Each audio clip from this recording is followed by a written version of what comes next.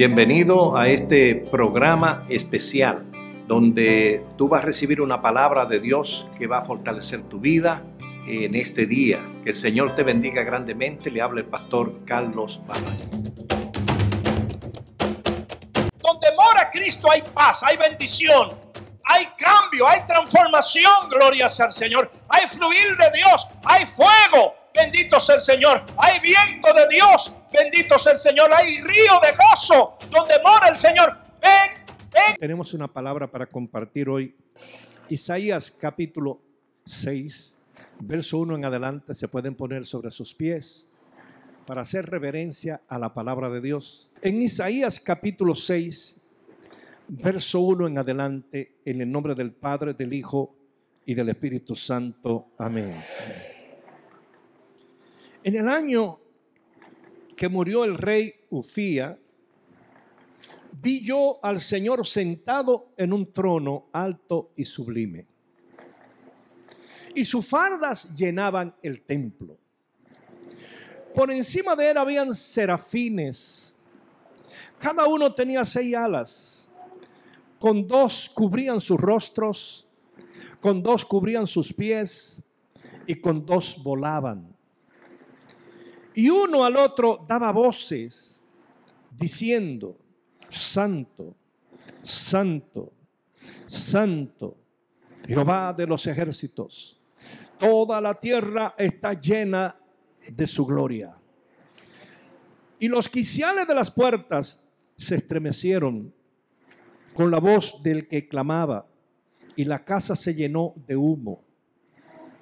Entonces dije, ay de mí que soy muerto, porque siendo hombre inmundo de labios y habitando en medio de pueblo que tiene labios inmundo, han visto mis ojos al rey Jehová de los ejércitos. Y voló hacia mí uno de los serafines, teniendo en su mano un carbón encendido y tomado del altar con unas tenazas, y tocando con él sobre mi boca, dijo, he aquí que es, he aquí que esto tocó tus labios y he quitado tu culpa y limpio tu pecado. Padre, gracia en el nombre de Jesucristo por la palabra, Dios, que tú me has permitido leer en esta ocasión. Te alabo, Señor. Bendigo tu nombre. Digo que tú eres santo, Señor. Junto con la congregación venimos a tu presencia, reconociendo que necesitamos un toque del fuego de tu altar. Guíanos, Señor, en estas palabras. Guía, Señor, nuestra mente, nuestro pensamiento. Muéstranos el camino correcto para que andemos en él. En el nombre de Jesucristo, Señor. Amén, amén y amén. Démosle un aplauso al Señor, hermano.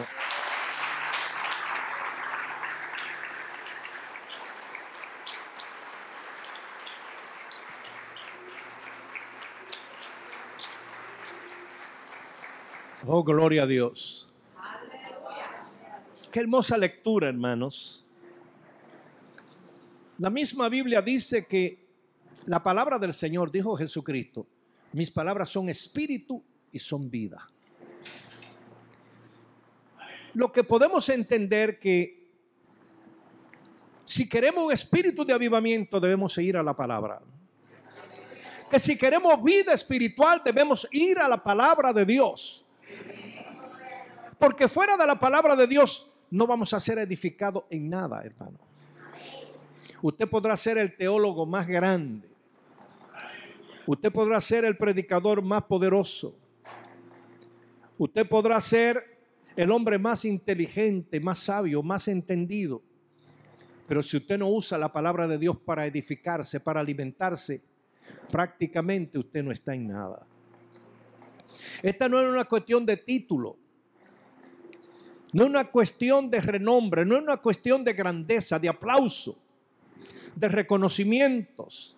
Es una cuestión de humildad para alcanzar, hermano, el poder de la palabra de Dios. Alcanzar ese poder.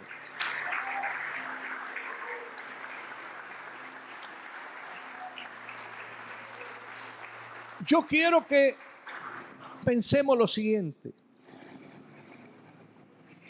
¿Quién era Isaías? Isaías era el profeta de Dios en un tiempo de crisis espiritual en la casa de Dios. Había crisis espiritual en la casa de Dios, en el templo de Dios. Y aunque Isaías como profeta no estaba llamado a ministrar en la casa de Dios, porque para eso había un ordenamiento sacerdotal y levítico, que era lo que ministraban, hacía la administración en el templo. Isaías sentía el peso, la carga de Dios por lo que estaba pasando en el templo. Pero Isaías no era un profeta burlón ni, ni crítico. Isaías sabía cómo se solucionaban los problemas, porque mucha gente no entiende cómo se solucionan los problemas de la casa de Dios.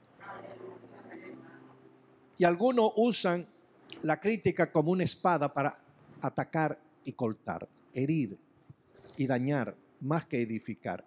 Otros la usan para edificar. Gloria al Señor.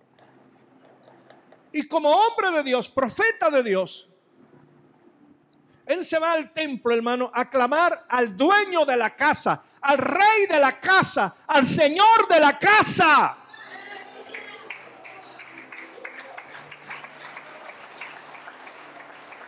Gloria al Señor. Yo quiero que meditemos hoy, hermano, en esto. Dios no nos ha llamado a nosotros como fiscales ni como jueces para juzgar, condenar o acusar. Hay que entender, hermano, que todo el que está en la casa de Dios necesita a Dios. Todo lo necesitamos. Uno de una forma, otro de otra forma, pero todo el que está aquí se está sanando. Vamos a darle un aplauso a Cristo, porque en la casa de Dios hay medicina para el enfermo. Gloria al Señor. Cuando el profeta Jeremías escribe en el capítulo 18 y dice, ¿por qué perece mi pueblo? Dice la hermana, por falta de conocimiento, pero sí. Jehová dice, y no había medicina en mi casa. No había bálsamo en Galaad. ¿Por qué no usaron ese bálsamo? Jehová está diciendo la solución a tu problema está en mi casa. La solución a tu enfermedad está aquí. La solución a tu crisis está aquí. La solución de tu problema está aquí. Jehová lo tiene. Hay un bálsamo para ti. Dilo, hay bálsamo para mí aquí.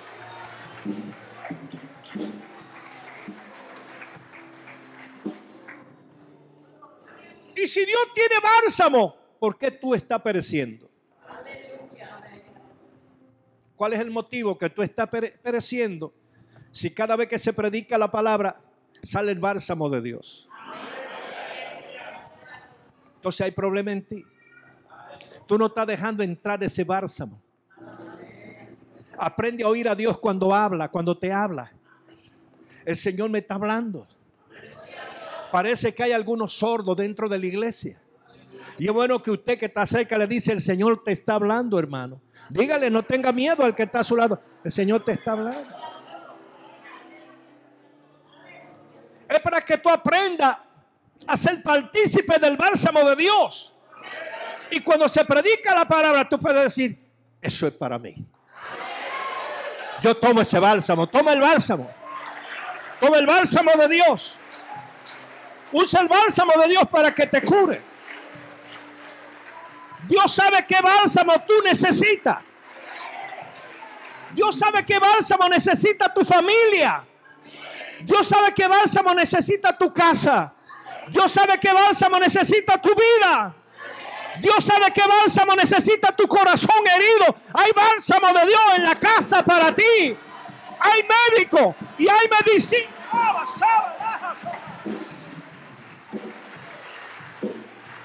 Hay médico de Dios aquí.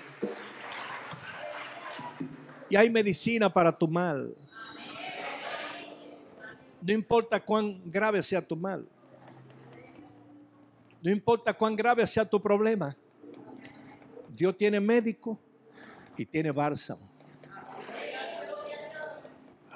Si usted no lo sabía, hay médicos graduados espiritualmente. Y que tienen el bálsamo de Dios. Aquí hay varios bálsamos que Dios tiene para usted. Y que Dios lo va a aplicar en el nombre de Jesucristo para que usted sea sano. Usted está aquí para ser sano.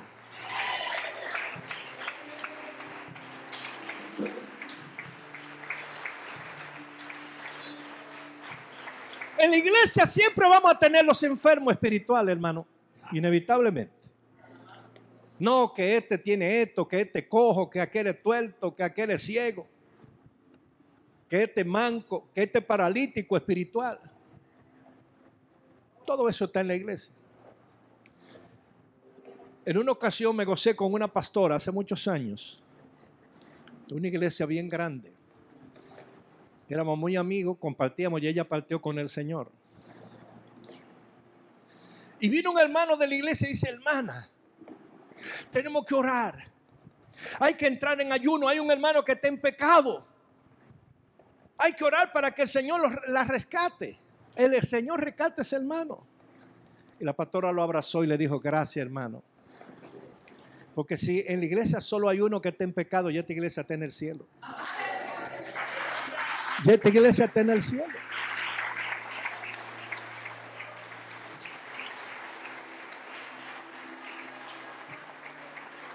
Me gocé, hermano, porque es una verdad. Todos tenemos algo, ¿eh? Todos tenemos algo que nos afecta. Y estamos aquí precisamente procurando el médico de Dios. Y procurando el bálsamo de Dios. Yo estoy aquí porque yo quiero bálsamo. Yo estoy aquí porque yo necesito bálsamo. Yo estoy aquí porque yo necesito medicina espiritual para mi vida. Yo estoy aquí para que ocurran los cambios que tienen que ocurrir en mí. Yo estoy aquí para que Dios transforme mi vida, para que Dios cambie mi vida, para que Dios restaure mi vida. Yo estoy aquí para que esos cambios vengan del cielo sobre mí. Alabado sea Dios.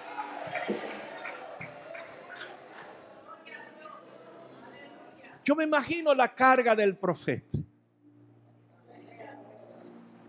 La carga que tenemos que llevar los hombres de Dios, hermano. Carga que muchos rechazan, pero que Dios la pone sobre nosotros. Ustedes se imaginan el sumo sacerdote Aarón en su vestidura, en su efo tenía dos piedras de ónice, una de este lado y otra de este lado.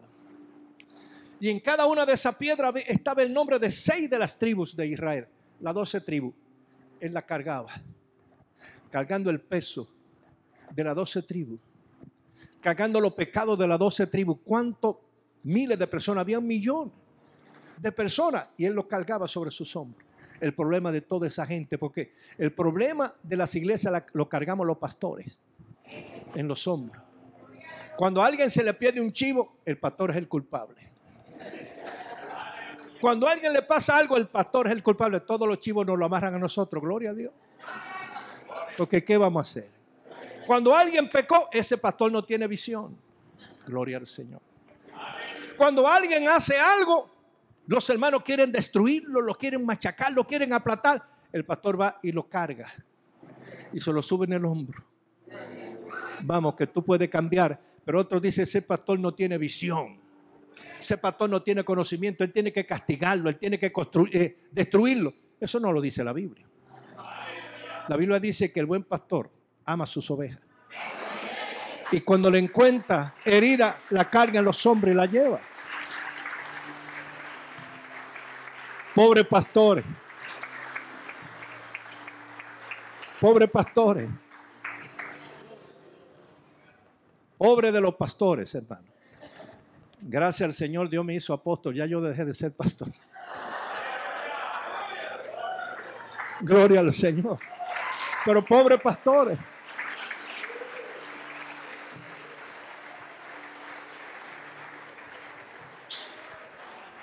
Ustedes pueden, hermano, entender o imaginarse por un momento que este hombre llevaba el pecado de todos los pueblos aquí, toda la tribu, el nombre de todo el mundo ahí. ¿Usted sabe lo que es cargar el nombre de cada persona ahí? Eso no lo entiende mucha gente. Los pastores perdemos el sueño, hermano. No dormimos bien orando, clamando, gimiendo por la gente. Señor, tráelo a la iglesia. Mira que hace unos días que no viene a la iglesia, tráelo a la iglesia. Señor, mira el hermano tal que está enfermo, mira el, fulano que debe, mira aquellos que tienen problemas, mira los que tienen negocio, bendícelo. Señor, todo eso. Usted tiene que cargar con todo eso. Y a veces la gente bendecida y dice, me bendijo Dios. ¿Y por qué te bendijo Dios? Porque hay un pastor que está orando por ti. Hay un pastor que está orando por ti.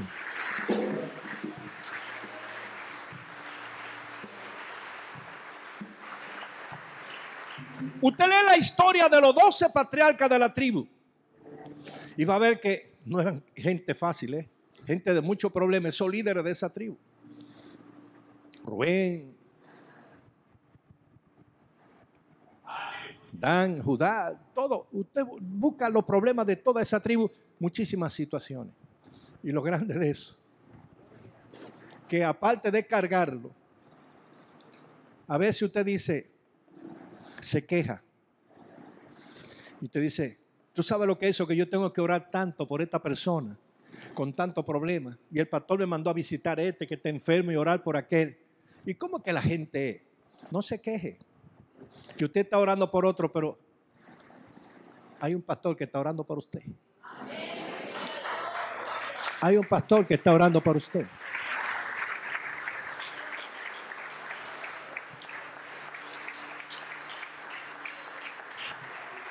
Aunque los pastores no se tienen en alta estima, porque hay mucha gente, hermano, que, que hace su viaje y no llama al pastor, pastor, ore por mí.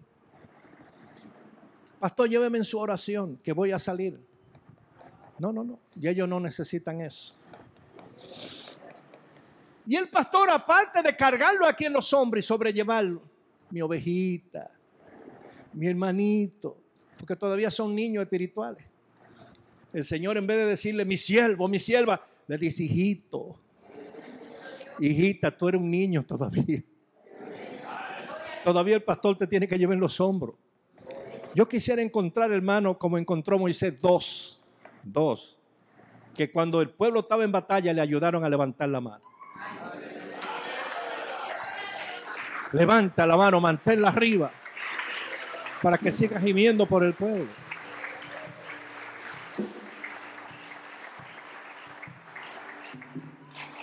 Pero aparte, hermano, de llevarlo ahí, tenía que llevarlo en el pecho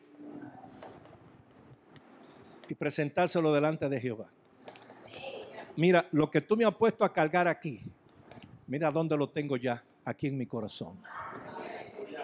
Yo solamente no lo sobrellevo, yo lo tengo aquí en mi corazón para presentarlo a ti, para que tú tengas misericordia de ellos. Isaías, hermano, que desconocía muchas de las cosas de esa relación sacerdotal que tenían cada uno de los sacerdotes que ministraban en el templo con Dios estaba gimiendo allí, pero ¿y qué pasa Jehová con este pueblo? Es que tú vas a dejar que se apague el fuego en esta casa. Es que tú no vas a hacer nada. Es que tú no vas a mover tu poder, tu gracia, tu gloria para que este pueblo se sacuda.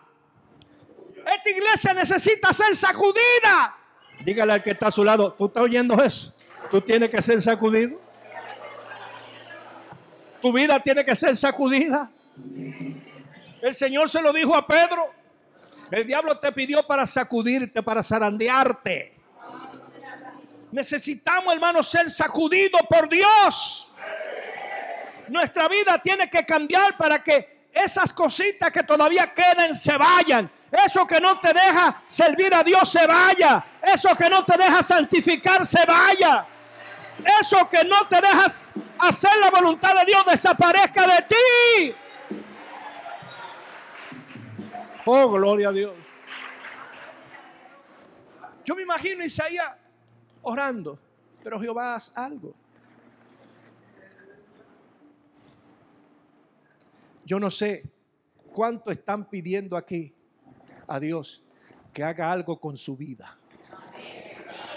Yo necesito, Señor, que tú hagas algo con mi vida hoy. ¿Cuántos son los que necesitan que Dios haga algo con su vida hoy? Levante la mano, no tenga miedo. Yo necesito que tú hagas algo con mi vida hoy.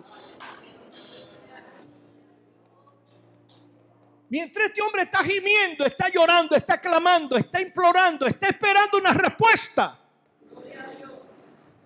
Oiga la respuesta que Dios le da. Vuelvo a la lectura bíblica. Mientras él clamaba, oiga lo que dice. Vi yo al Señor. ¿Usted sabe lo que significa eso? Ver al Señor. Mis problemas se van. Mi situación va a cambiar. Yo estoy aquí porque vine a ver al Señor. Yo estoy aquí porque vine a ver el poder de Dios. Yo estoy aquí porque vine a ser tocado por el fuego de Dios. Yo estoy aquí porque vine a ser encendido por el fuego de Dios. Yo quiero ver su gloria, yo quiero ver su poder, yo quiero ver su unción, yo quiero ver su mover. Yo quiero ver eso. Pero Dios quiere que tú le alabes. Dios quiere que tú le bendiga. Porque Dios no va a descender si no hay alabanza. Dios no se va a mover si no hay alabanza, si no hay adoración, si no se levanta la mano, si no se bendice el nombre de Jehová. Bendice el nombre de Dios. Dios se quiere mover hoy.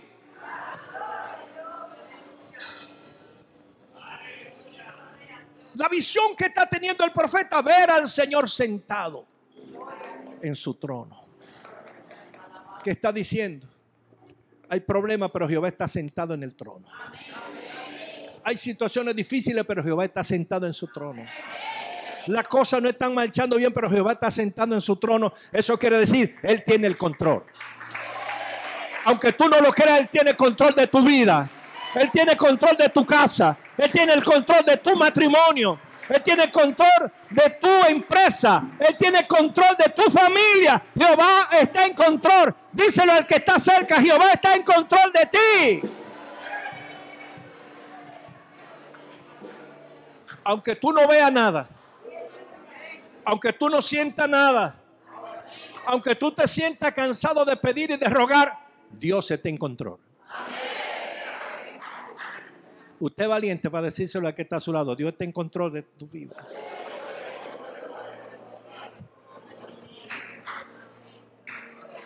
Dios está en control de tu vida. Dios tiene el control de tu vida. Dios tiene el control. Dios tiene el control.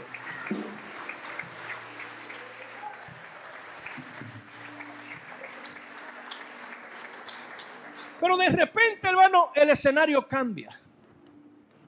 Porque él comienza a ver las fardas de la túnica de Dios. La túnica del rey. Como diciéndole, ustedes están bajo mis pies. Mi trono está sobre tu vida. Mi trono está sobre tu casa.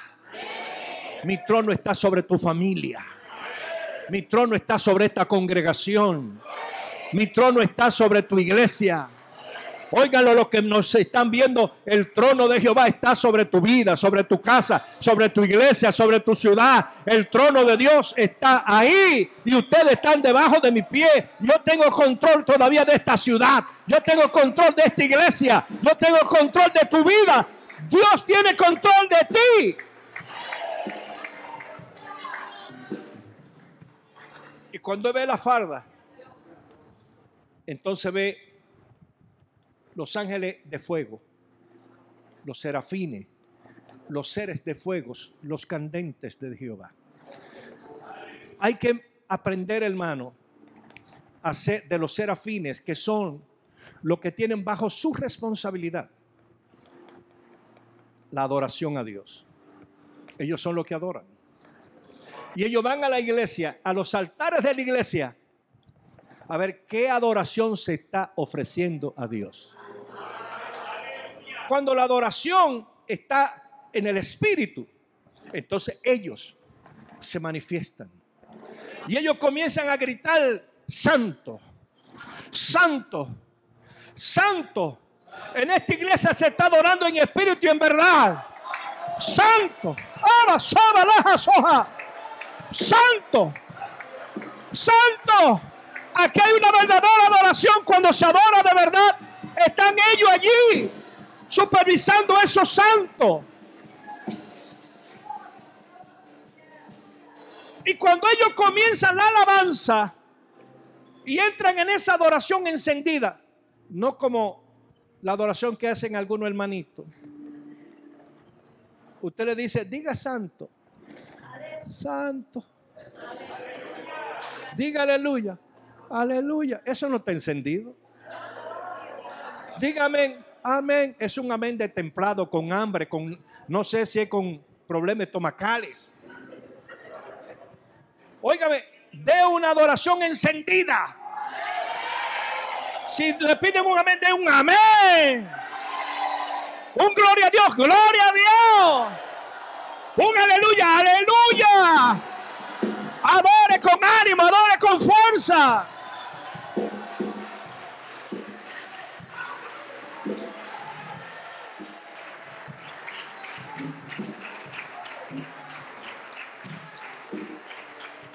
Cuando el rey David cambió la adoración, David cambió la adoración, espérate.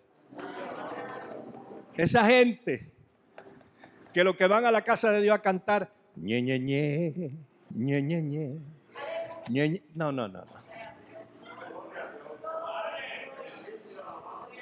David dijo, eso sáquenlo.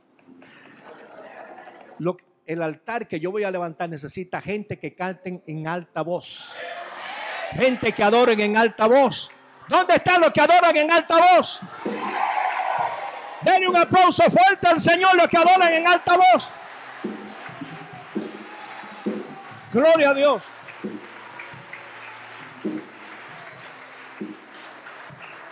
Gente que adoren encendido. Gente que levanten la mano encendida y digan amén. Gente que levanten la mano encendida y digan gloria a Dios. Gente que levante la mano encendida y digan aleluya. Dígale al que estaba seca, viste, yo soy de eso. Viste, yo soy de eso. Yo soy de los que alaben alta voz. No. No. Alaba, alaba. Que Dios está buscando a esa gente.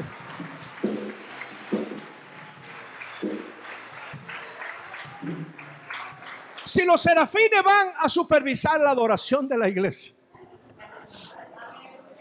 Oiga, son los supervisores de la adoración. Lo ven a usted la adoración que usted está dando. Y usted se imagina que usted sea de la de los adoradores mudos. Porque hay adoradores que son mudos, nada más mueven la cabeza. Hay gente que son un problema, hermano, mudo hasta para enamorarse. Cuando le gusta, una persona le hacen. No dicen nada.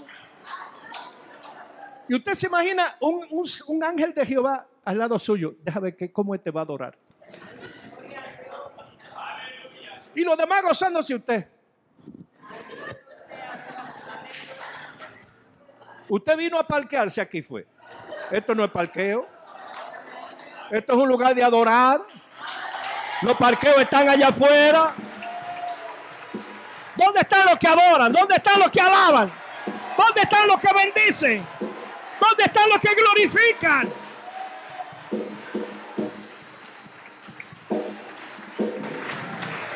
Dígale al que está más cerca, hay un serafín que te está chequeando.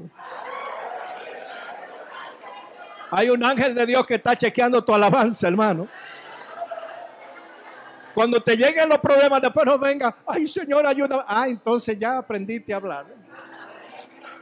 Señor, yo te alabo, ayúdame. Ah, ya aprendiste a alabar. Alábalo ahora. Alábalo ahora. Bendícelo ahora.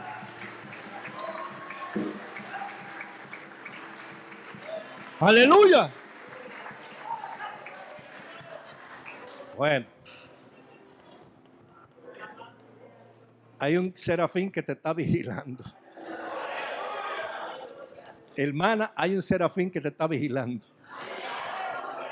Y está diciendo, ¿a qué tú viniste a la iglesia? ¿Qué tú haces ahí? Mire, dice Mateo 22 la fiesta de boda. Y cuando se iba a celebrar la fiesta de boda, el rey mandó a recoger a todo el mundo, paralítico, cojo, ciego, mudo, leproso, todo el mundo. Éntrenlo a mi casa, que lleguen. Y después que se llenó la casa, le dijeron al rey, la casa está llena. Oh, se llenó la casa. Entonces el rey sale a caminar a verlo uno por uno. Este es de lo que alaba. Este es de lo que bendice, este es de lo que glorifica. Pero encontró uno que no tenía la vestidura de alabanza, de adoración. Le dice, ¿cómo tú entraste aquí? Amigo, ¿cómo tú entraste aquí? ¿Quién te dejó entrar? Dígale, que está cerca, ¿cómo tú entraste aquí? ¿Cómo tú entraste aquí? Porque para entrar aquí hay que estar vestido de alabanza, ¿eh? Hay que estar vestido de adoración. Vístete, vístete, vístete. Aleluya. Óigame, cuando Isaías vio ese esplendor, ese derramamiento de adoración, ese derramamiento de gloria, y mira que los oficiales de la puerta comienzan a temblar. Y esa adoración de esos querubines comenzó a producir humo. Porque cuando usted adora con alta voz o con voz alta, comienza, hermano, a llenarse su vida de humo. El templo se llena de humo. Si todos adoran, se llena la casa de Dios de humo. Pero imagínese a alguien que no está adorando, se queda sin estar en la nube de Dios. La adoración te lleva a la nube de Dios. Te entra a la nube de Dios. Pero si tú no adoras, te queda fuera. Pregúntale que está cerca. ¿Tú estás dentro de la nube o fuera de la nube? Para, ¿Usted sabe al lado de quién usted está?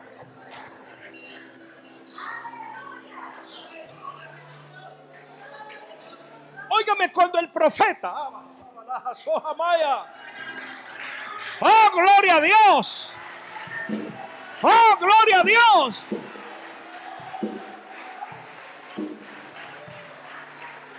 Cuando el profeta vio el mover de Dios Entienda que cuando Dios se mueve, es tiempo de restaurar su vida en la presencia. Cuando él vio el movimiento de Dios, los quiciales temblando y eso se llenó de humo. Y estos serafines gritando, santo, santo, santo. Dijo él, ay de mí. Siendo un profeta, ¿eh? Ay de mí, que soy hombre muerto. Porque siendo hombre inmundo de labios y habitando en medio de un pueblo que tiene labio inmundo, mis ojos, mis ojos están viendo gloria. Mis ojos están viendo gloria. Mis ojos están viendo gloria. Yo estoy viendo gloria, no sé usted. Yo no sé si usted está viendo gloria, pero aquí hay gloria. Aquí hay gloria en este día. Aquí hay presencia en este día. La nube de Dios está aquí. Yo no sé si usted la está viendo, pero está aquí. Dale un aplauso al Señor. Está aquí su gloria. Está aquí su nube. Diga conmigo en alta voz, gloria a Dios. Santo. Aleluya. Soy inmundo. Soy hombre o mujer. Se callaron. Se callaron. No tenga temor de decirlo. Soy hombre. Yo lo puedo decir. Las mujeres digan, soy mujer de labios inmundos. Y habito en medio de un pueblo de labios inmundos. Yo necesito que el fuego del altar me toque hoy. Yo necesito el fuego del altar.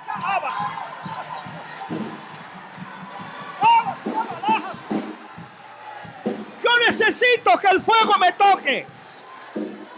Yo necesito que el fuego me toque. Ahí está el Espíritu. Ahí está el Espíritu Santo. Ahí está. Está tocando Dios. Está tocando Dios. Está tocando Dios. Es tiempo de declarar que tú necesitas el fuego. Es tiempo de pedir el fuego. Es tiempo de buscar el fuego. Llénate, llénate, llénate, llénate. Ahí está, ahí está, ahí está el fuego. Ahí está el fuego. Ahí está, ahí está. Dale el aplauso al Señor con fuerza. Recibe. Alaba a Dios con gozo. Aleluya.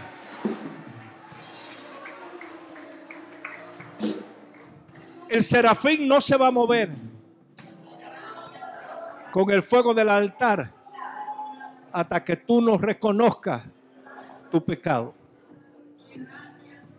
Todos los días, todos los días, los sacerdotes antes de ministrar tenían que pedir perdón. Por ello y por los pecados del pueblo. Y por ello y por los pecados de su familia.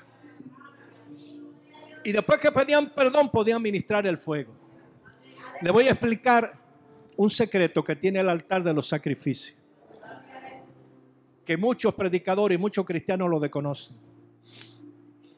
Dice Éxodo capítulo 40, verso 10. Y le dijo Jehová a Moisés, con el aceite de la santa unción, unge el altar de los sacrificios. Porque ese altar me será un altar santísimo no santo, sino santísimo. Lo que quiere decir, lo que salga de ese altar es santísimo. Y de ahí salía fuego. Si usted quiere ser tocado por el fuego santísimo, tiene que declarar su pecado. Tiene que decir que usted es pecador. Tiene que confesar su pecado. Cuando el profeta Isaías confesó su pecado, vuelvo a repetir la cita, Isaías, perdón, Éxodo 40, 10. El altar de los sacrificios se convirtió en el, el único altar del tabernáculo santísimo. Donde está el fuego, la persona se convierte en un, un adorador santísimo.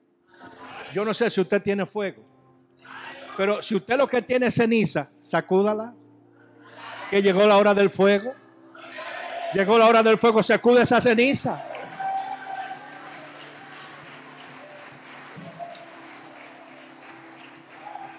Sacuda la ceniza.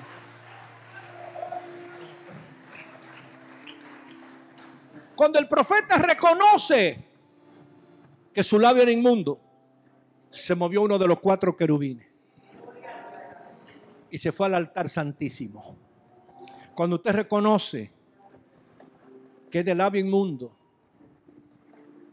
que usted ha pecado, que usted le ha fallado a Dios, se mueve ese serafín, que es el encargado de limpiarlo ¿eh? espiritualmente. Y se va al altar de Dios. En el cielo hay un templo. Yo estuve en ese templo en el cielo. Jehová me subió allá. El ángel del Señor me subió al templo de Dios en el cielo. Un templo de oro completo, piso de oro, las paredes de oro, el techo de oro, gigante. Y ahí estaban los sacerdotes del trono, ángeles que hacen el oficio de sacerdote del Dios del cielo. Y me recibió uno cuando me subió el ángel del Señor. Y me puso delante de una escalinata que tenía 15 escalones de oro. Yo estaba descalzo con una túnica blanca, vestido de sacerdote. Y cuando yo comienzo a subir los escalones, me llevó el Señor. Esos son los salmos de ascenso a la casa de Dios. Comienzan en el Salmo 20 hasta el Salmo 35, 15 salmos, que son los 15 escalones.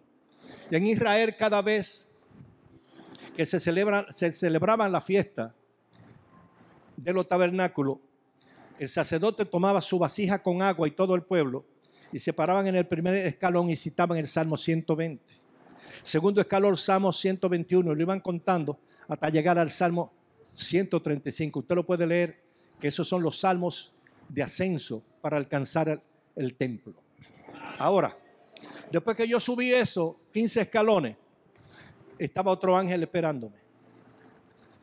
Y me da la mano y me dice,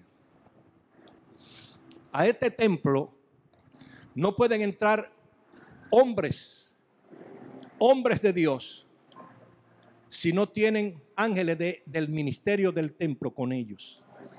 Y como de este templo hay ángeles contigo, por eso tú puedes entrar. Si no, tú no pudieras entrar. O sea que hay diferentes tipos de ángeles. Esos ángeles del templo están con los que ministran el altar de Dios. Me dice, ven. Y entonces me entra, me llevó donde estaba el ángel que ministra el pan de Dios en el cielo. Y ahí, frente a ese ángel, él me dijo, de este pan yo le di a comer a Elías en el desierto, dos veces. Y de este pan le di a comer a Cristo en el desierto. Cuando la Biblia dice que un ángel confortaba a Cristo, él me dijo, yo era ese ángel que le fui a llevar el pan del cielo a él en el desierto. Luego me llevó frente al altar. Yo vi el altar. Vi cómo se ministraba el altar. Pero me sorprendió algo que me dijo el ángel que me llevó. Me dijo, mete tu mano en el fuego del altar y coge de ese fuego y lleva para la tierra porque tú eres un ministro del fuego de Dios. La gloria sea del Señor. La gloria sea del Señor. Usted sabe lo que es ministrar el fuego del altar. No todo el mundo sabe lo que es ministrar el fuego del altar. Ese fuego solo lo ministran los serafines. ¡Ah! Porque son los que tienen, hermano, que limpiar de pecado la iglesia de Cristo. Son los que supervisan la alabanza y la adoración. Son los que saben cuando un adorador está bien y cuando un adorador no está bien. Y vemos aquí, hermano, una cantidad de personas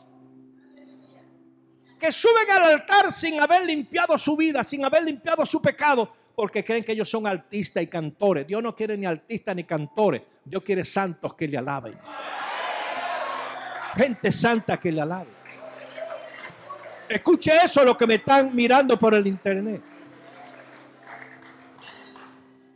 Cuando el profeta confiesa su pecado, dice, soy hombre inmundo de labio.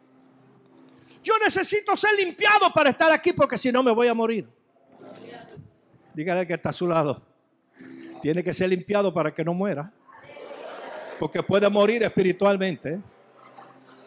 Puede morir. Tienes que confesar tu pecado para que no muera. Soy hombre muerto, ay de mí.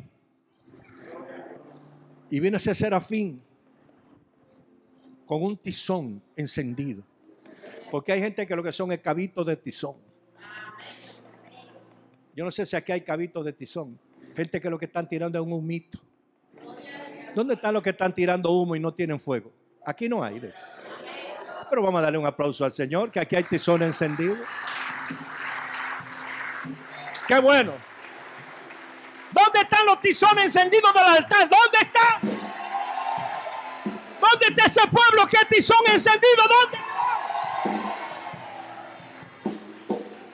Que está a su lado, yo soy un tizón encendido del altar. Yo tengo el fuego del altar, dígaselo, yo tengo el fuego del altar.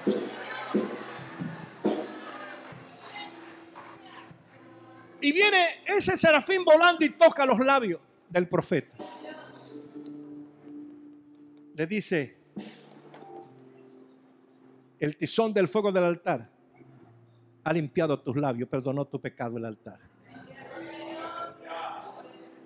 De ahora en adelante tu vida va a cambiar. Tu vida va a ser otra. Dígaselo al que está a su lado, tu vida va a ser otra. Te tocó el fuego del altar, hermano. El fuego del altar tocó tu vida, tocó tu vida. Yo soy otra persona porque el fuego del altar tocó mi vida. Dilo, yo soy otra persona porque el fuego del altar tocó mi vida. Grítalo, yo soy otra persona porque el fuego del altar tocó mi vida. Te toca, te toca, te toca el fuego. Te toca el fuego, te toca el fuego. La vida cambia cuando el fuego del altar toca a la persona. Tocado por el fuego del altar. Yo no sé si usted se siente tocado. Pero yo le voy a decir algo. Mírenme. Yo fui tocado por el fuego del altar. Póngase de pie y dígale al que está a su lado, mírame. Yo fui tocado por el fuego del altar. Yo fui tocado por el fuego del altar. Los que nos están mirando a través de las redes, diga, yo fui tocado por el fuego del altar. He sido tocado por el fuego del altar. Hoy me ha tocado Jehová por el fuego del altar.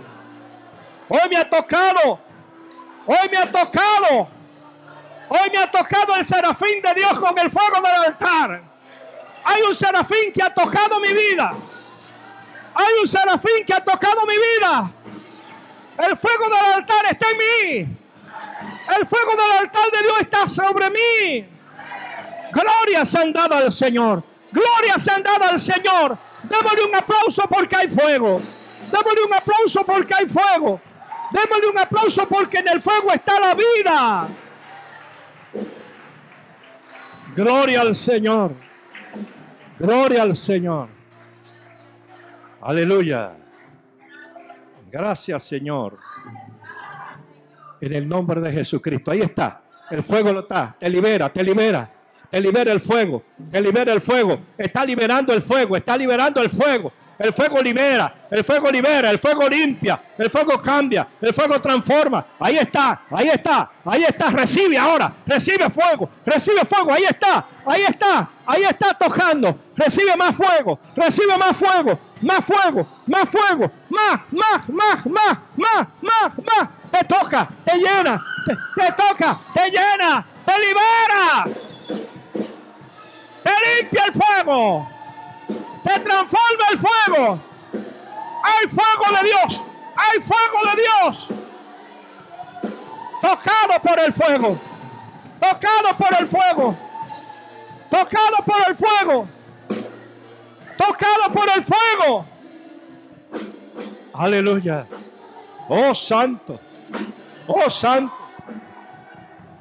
Se están moviendo los serafines. Se están moviendo los serafines. Se están moviendo los serafines. Están tocando vida. Hay vidas que está siendo tocada. Gracias. Gracias. Aleluya. Gracias, Padre, en el nombre de Jesucristo. Por la palabra que tú me has dado, Señor. Bendecimos nuestras vidas, Señor. Y bendecimos todos los hermanos que están presentes y los que nos están mirando a través de las redes, lo bendecimos. Gracias por tocarlo con el fuego de tu altar, Padre. En el nombre de Jesucristo. Amén. Mi hermana, ¿se puede saber por qué usted quiere la oración?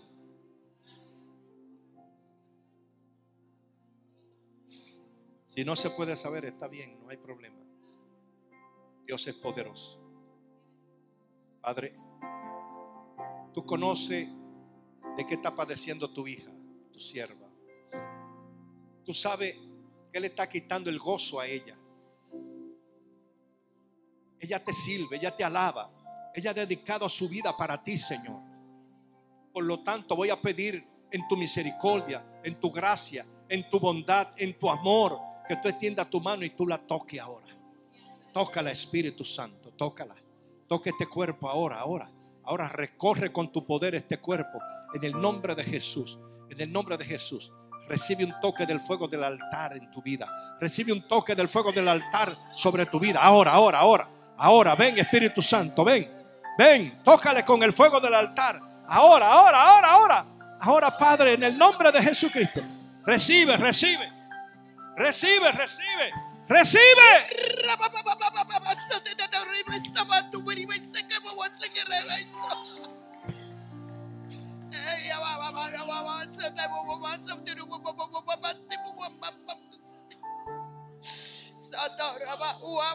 Aleluya.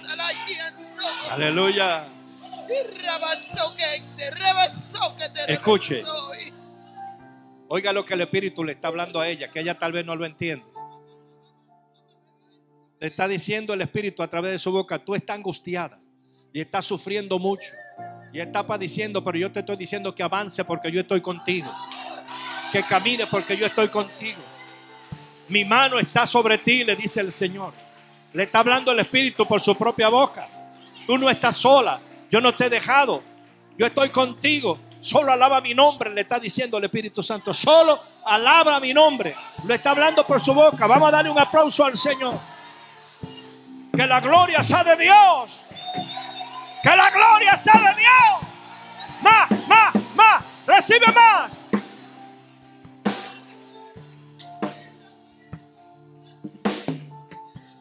Necesitaba ser tocada por el fuego.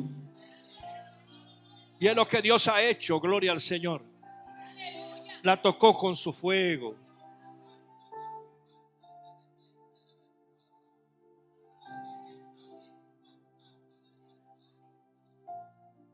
Bastante te he mostrado mi gloria. Bastante tú has visto mi poder manifestado. Mi poder ha estado contigo y no te ha abandonado. Es lo que está hablando el Señor. Démosle otro aplauso al Rey.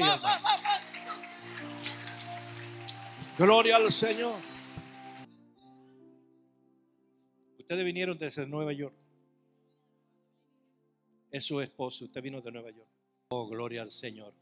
Qué bueno. Cierren los ojos. Padre, quiero bendecir esta pareja de esposos que vinieron a buscar la oración, Señor.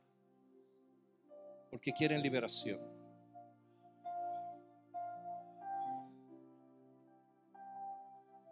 El joven le dio ya su corazón a Cristo. ¿Quiere darle tu corazón a Cristo? Vaya allí, por favor, que van a orar por usted. Y espéralo ahí, que vamos a orar. Dios va a hacer algo con él. Te bendiga, Héctor.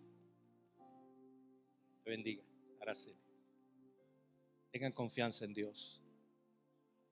Yo quiero que abran sus manos así, porque en las manos de ustedes está su situación.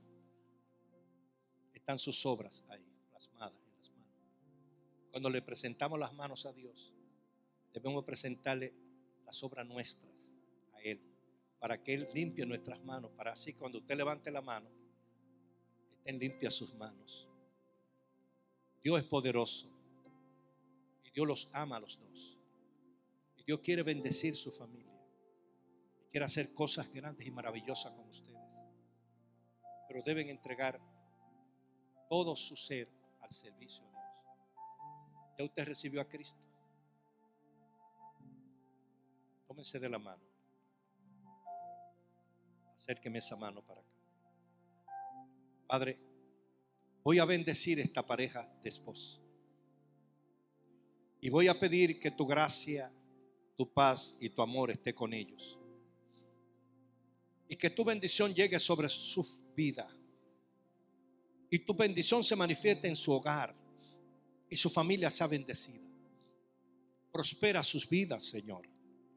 Resuelve sus problemas, sus dificultades Pon en las manos los recursos que ellos necesitan para que las cosas cambien. Y en su mente, Señor, ayúdalo en el nombre de Jesucristo. Lo bendecimos en el nombre del Padre, del Hijo y del nombre de Jesucristo. Amén. Es en la mano. Padre, bendigo esta unión matrimonial. Y te pido, Dios, que tú llenes de gozo y felicidad la relación de esta pareja. Que tú los guíes, que tú los dirijas, Señor. Que tú le muestres qué tú quieres hacer con ellos. Que tu reino, Dios, entre en sus vidas. Y que a través de tu espíritu tú ministres a ellos. Sea a través de tu palabra, a través de sueños, revelaciones o de predicaciones. Y que tú lo tome para gloria tuya y ponga en ello responsabilidad para llevar tu evangelio y su familia. En el nombre de Jesucristo te lo pido. Amén. Le damos un aplauso al Señor, hermano. Ya tú le diste tu corazoncito a Cristo. Es la primera vez que tú vienes aquí. Tú has venido otra vez. Dios te, Dios te bendiga mucho. Dios le bendiga, hermano. Gracias por venir desde Santo Domingo aquí. Miren lo que significan los descuidos espirituales, hasta dónde puede llegar la persona. Óigame lo que le voy a decir, varón. La Biblia dice, y yo creo lo que dice la Biblia, que cuando Dios hace libre a una persona es libre. Usted lo que tiene que aceptar que Dios le hizo libre. Mientras usted tenga aceptando de que le vienen demonios, le entran demonios, eh, ya usted no puede decir eso por su boca. Usted tiene que decir, yo soy libre. Y cuando un demonio quiera venir, usted le dice, yo soy libre, el Señor me hizo libre. Porque si usted estaba negro, Él lo limpió ya. Él lo perdonó ya. Él lo rescató ya. Usted lo que tiene.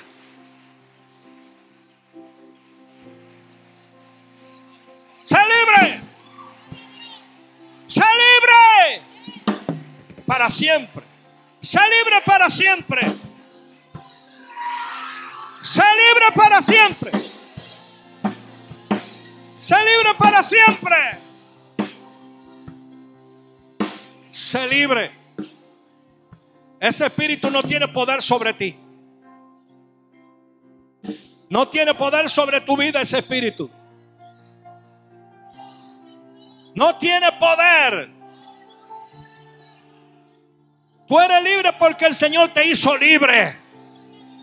Tú eres libre porque el Señor se hizo libre. Ese espíritu se fue a su lugar. Ese espíritu se fue a su altar. Te abandonó porque encontró que Cristo entró en ti. Porque tú dejaste entrar a Cristo ahora, por eso se fue. Se fue.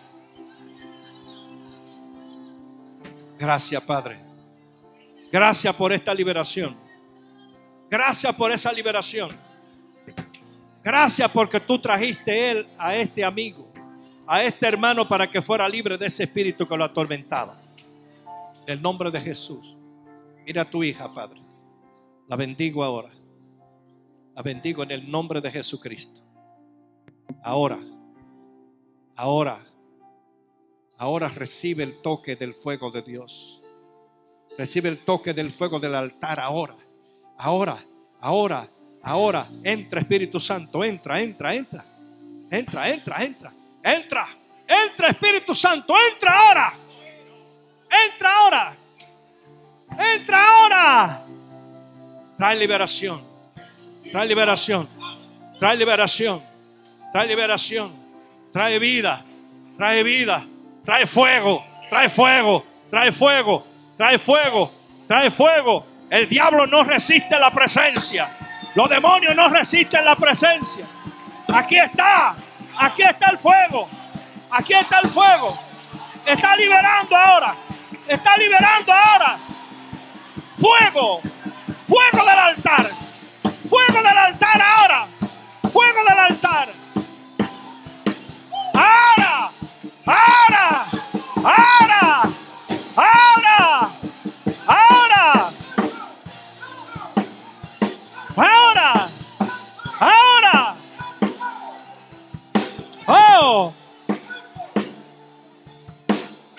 No tiene poder el diablo.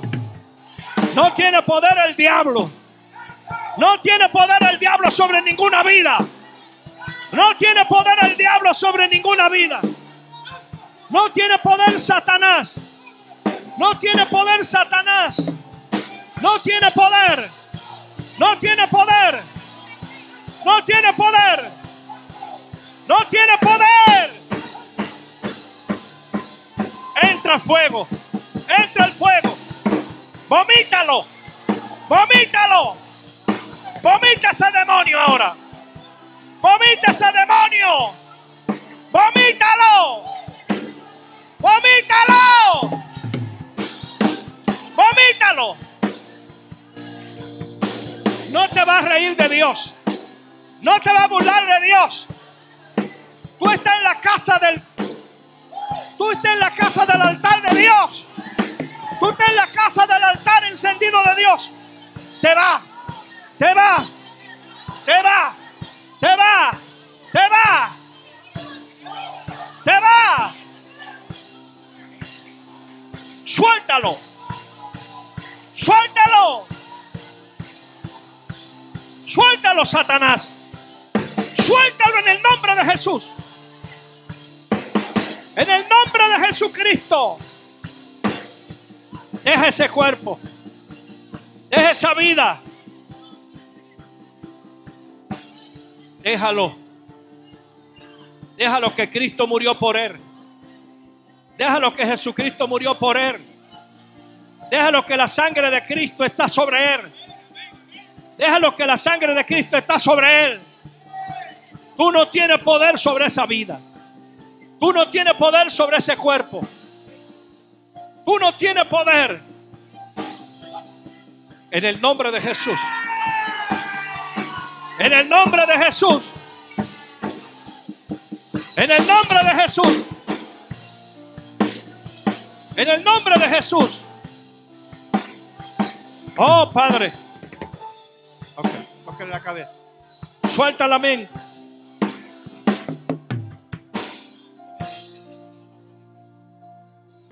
Ahí está el Espíritu. Ahí está el Espíritu. Ahí está el Espíritu de Dios. Ahí está el Espíritu de Dios.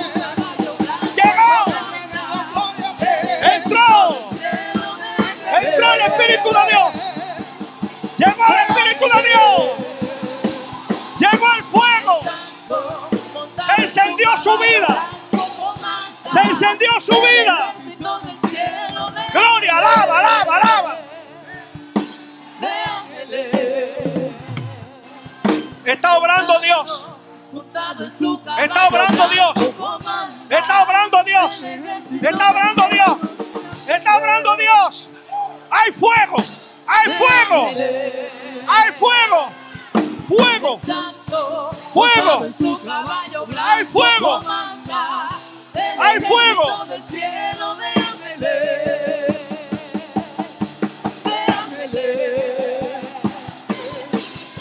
¿Quién fue?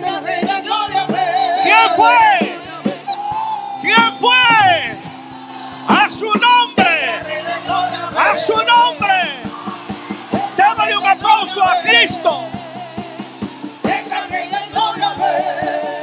Aleluya. Hay gozo. Hay gozo. Montado en su caballo blanco comanda Hay gozo. el ejército del cielo de ángeles. De ángeles.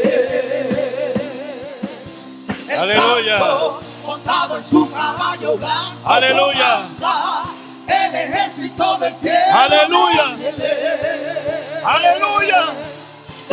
Recibe. Recibe. Recibe gozo. Recibe.